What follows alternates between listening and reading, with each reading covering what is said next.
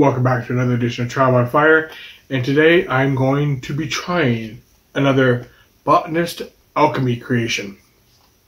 They have done some amazing sauces. The very first one I ever tried of theirs was the Tropical Candy, and I have tried a few other ones. Uh, they've kind of gone around to be used.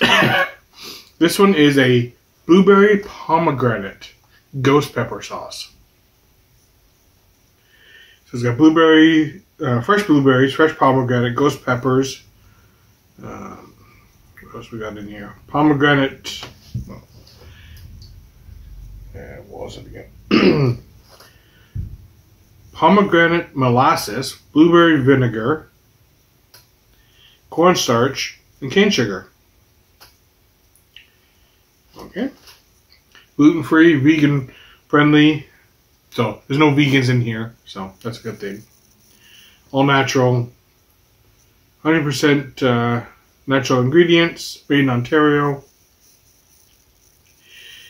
It's a three chili according to their heat, which says hot, but hard to say exactly what level that would be. It is a small batch, limited edition uh, sauce.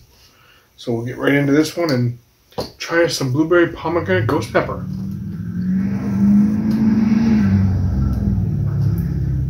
And there goes the neighborhood.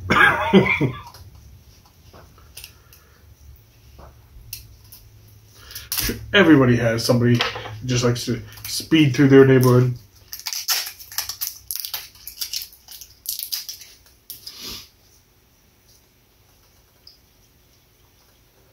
So it's got a fairly thin consistency.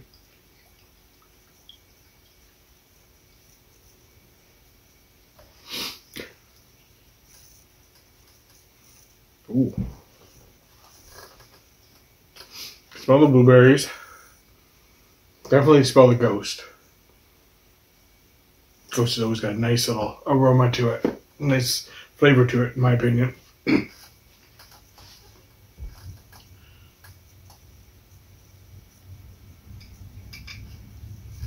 Ooh. See little bits of everything in it. Blueberries, probably I'm guessing a ghost as well. Now it says a ghost pepper mix, so it might be a mix of regular ghost, might have some chocolate in there, might have a few. Hard to say. But it'll always make an interesting combination when you do mix them. So cheers, let's find out what this tastes like. Ooh. That's good. Wait for it. oh, she got kick. the blueberries hit you right away.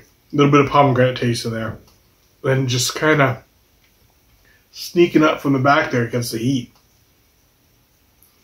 It's a nice heat, but it it does just kind of sneak up out of nowhere even though I knew it was going to come, just kind of wasn't expecting where it came up. Try a little bit more here. See how I can pinpoint that a little bit better for you.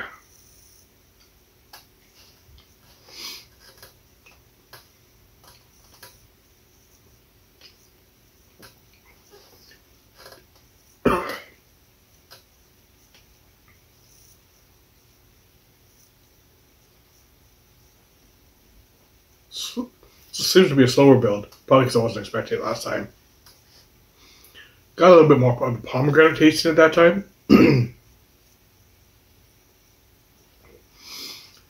but the heat is, it's mellow, but it's got a crawl. I'd probably put that, mm, maybe about a two, two and a half. it's there, but it's not to knock you off your feet. Well, at least not for me. Some people it might. Some people black pepper knocks it off their feet, so hard to say. But it's actually really good. I really do like the, the taste in this one. With most of their sauces, they they do amazing jobs with their sauces, and they're absolutely amazing uh, people to talk to. Talk to a um, couple of hot sauce festivals And, uh, hmm. oh, the blueberry kicked in more that that time. It looked like you're just shoving your mouth full of blue, blueberries. That would actually go really good on some ice cream. Or even pancakes. That'd be good on pancakes too.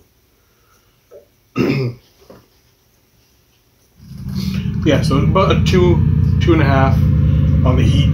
Taste wise, I'd probably give that about a, a seven.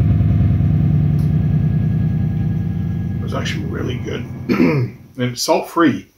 Yay! Good for uh, blood pressure issues. but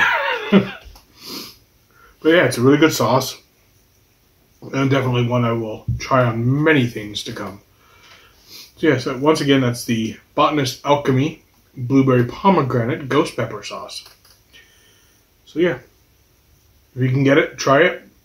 Our link will be for the uh, website below.